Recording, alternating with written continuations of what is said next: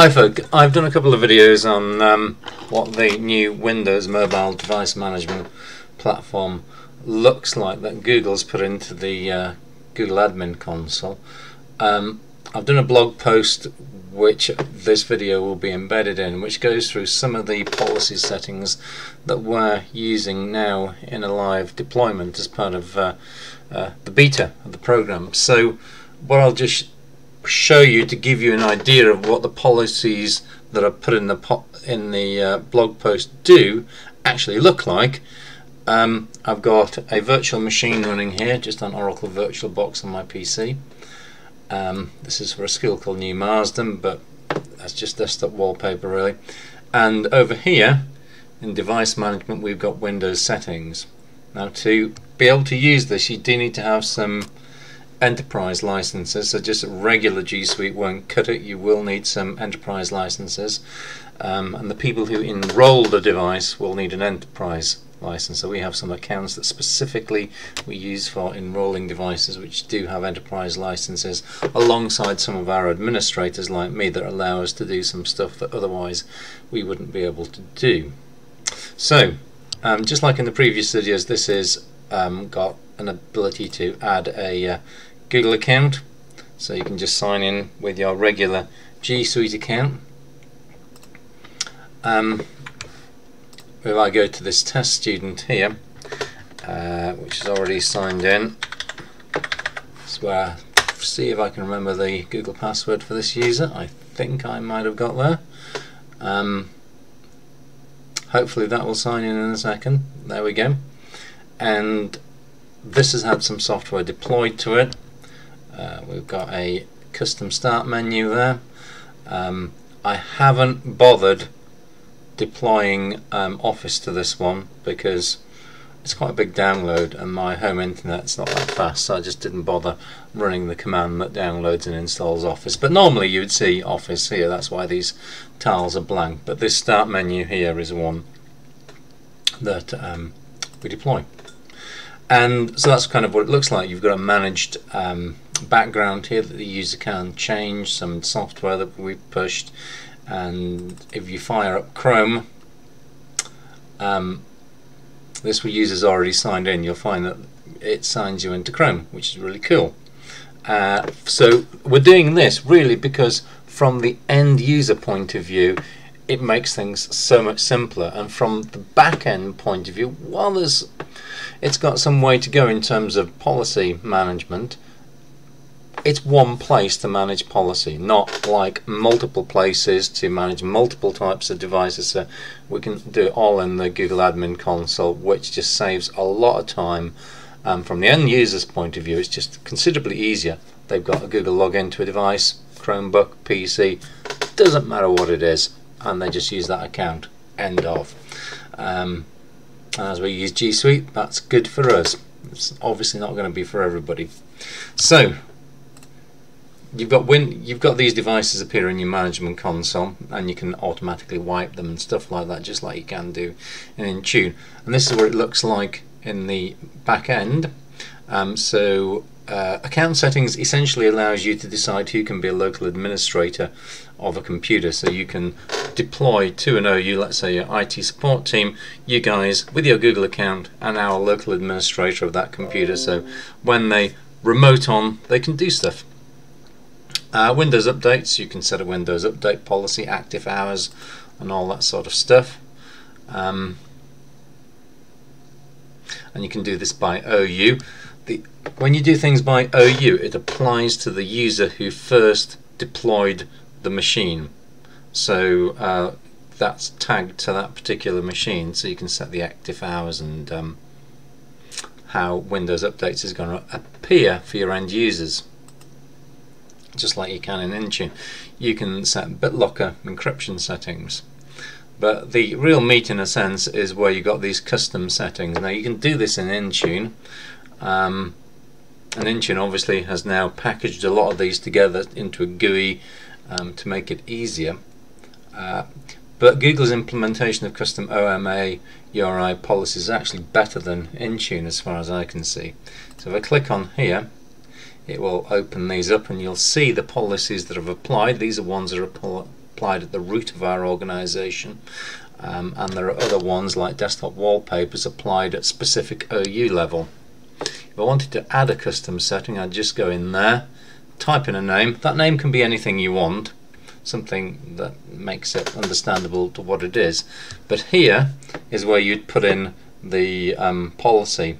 Now, unlike Intune, where you have to actually know exactly what the string is, you can just type in a bit here. Let's say I wanted something to do with a proxy, not proxy, uh, proxy.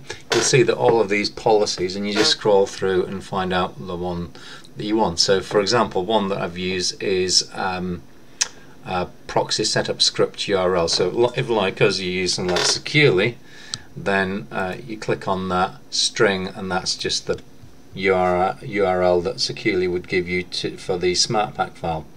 And that would set it up for your users and you click on add another so you can add multiple policies at once um, or um, just deploy that one. It'll prompt you to what OU do you want to apply that to or is it to the root of the organization? Um, so I've got a couple of pages of these and in the blog post I go through what each one of these um, policies does. Um, probably uh, the most tricky one to do, well, okay, so the most tricky one that I had to do was deploy um, SSL certificates. So this is for our Securely content filtering. So if I click on edit here, um, this is the policy string that you need here and when you get your SSL certificate you kind of have to install it on a computer and then look at it. And there is a sort of ID for the certificate when you look at the details of the certificate which is that string there. And then when you open up the certificate you need to paste in the string of characters that you can see there. So that's the current Securely SSL certificate. Um, uh, but what you've got to be a bit careful of is uh, when you open it up in Notepad, um, it put lots and lots of returns at the end of the line. So you actually got to remove all of those returns at the end of the line. There can't be any returns.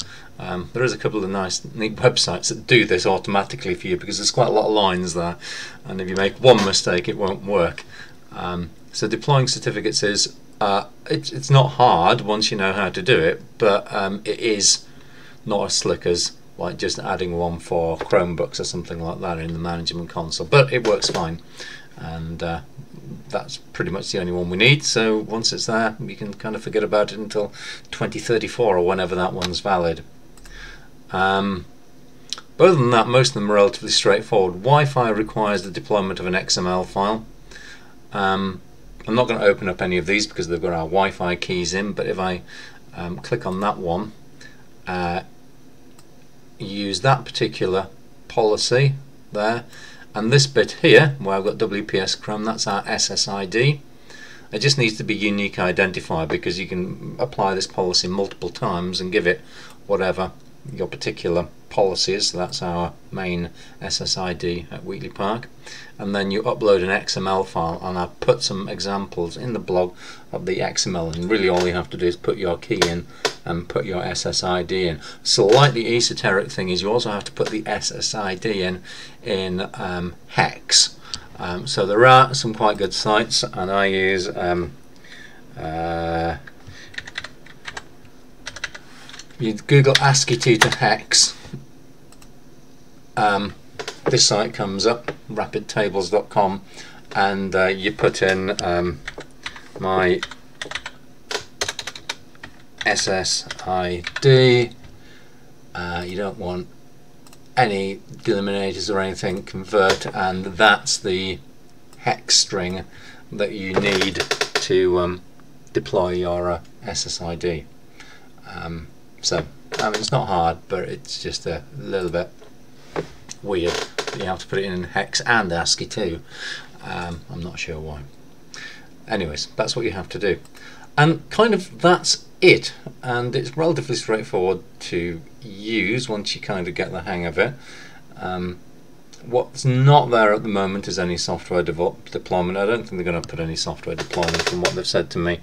Um, so we just have a memory key with all the software that we want on that particular device and um, we just run a script and you just run the script and all the software and some settings goes onto it and uh, it's actually quicker to deploy than Intune device where it pulls all the device software from the cloud at some of our sites. So um, yeah it kind of works um, I wouldn't deploy this to a student computer um, because I'm not 100% confident I've locked everything down. I've got AppLocker policies and things in place, so there's not much they can really break.